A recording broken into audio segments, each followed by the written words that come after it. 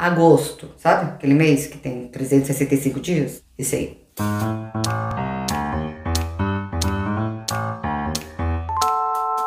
Mas eu gosto de agosto, principalmente porque agosto é um mês de uma campanha essencial chamada Agosto Lilás, que é a campanha de conscientização pelo fim da violência à mulher. Eu juro que foi sem querer, até porque eu tava achando que isso daqui era azul.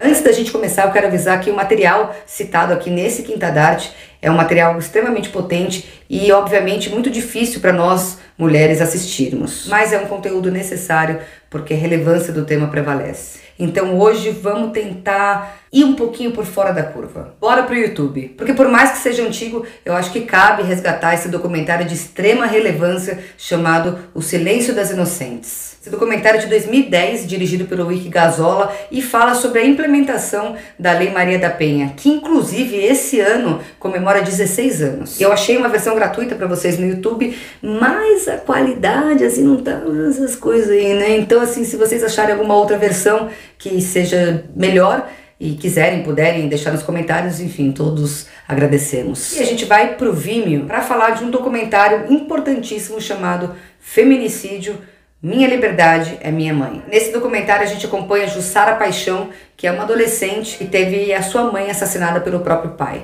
É um documentário extremamente potente que lida do pré ao pós-crime sob o ponto de vista da própria Jussara Paixão, que é a vítima né, remanescente desse crime hediondo. Fora o documentário em si, eu quero deixar um material bem interessante que é um debate que rolou quando do lançamento do filme, junto com a produtora do curta, a Leda Stopazoli, a diretora, a Sara, outras mulheres e inclusive a própria Jussara. Agora a gente vai para o Star Plus para falar do seriado que estreou na plataforma chamado Não Foi Minha Culpa. Esse seriado é o que a gente chama de antologia por episódio, ou seja, a cada episódio tem um elenco diferente, uma protagonista diferente, mas todos os episódios são ligados pelo mesmo tema, que é a violência contra as mulheres. Seriado baseado em fatos reais, é um seriado extremamente potente, necessário, que traz 10 protagonistas, 10 mulheres que tiveram as suas vidas marcadas pela violência. Na verdade, esse seriado ele tem outras versões, ele é um projeto da plataforma Star Plus na América Latina, ele foi lançado também no México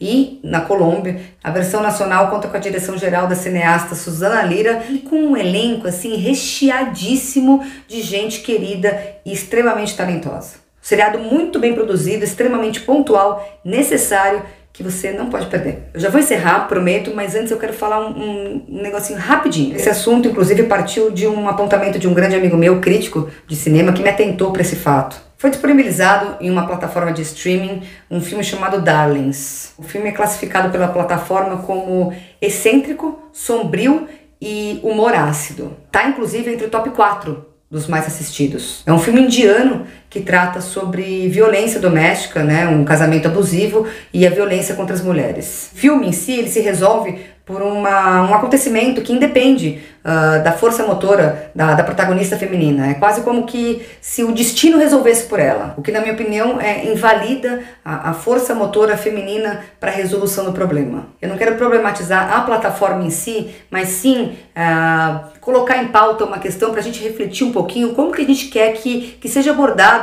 esse tipo de assunto, em qual narrativa que a gente quer se concentrar uh, em 2022, 2023, enfim, a essa altura do campeonato campeonato. Porque eu já disse, inclusive, aqui em outros Quintas Dates, eu volto agora a dizer que eu acho que todos nós envolvidos com audiovisual, tanto quem trabalha quanto quem consome, que a gente tem sempre que buscar novas narrativas, que proponham novas soluções, novas possibilidades, uh, que ampliem o debate. Porque eu acho que num tema tão enraizado, numa sociedade patriarcal como a nossa, é, não basta, não é suficiente um cinema meramente de identificação, mas se faz necessário também um cinema de empoderamento, um cinema de atitude, de empoderamento, de encorajamento. Alguém pode falar, ah, mas também não é para tanto, não tem nada a ver. Só queria lembrar que ontem, ontem foi aprovada uma PL que dá direito à mulher fazer laqueadura sem o consentimento do parceiro. Ontem, 2022. Então, assim, vamos refletir em que tipo de conteúdo que a gente está consumindo. É isso.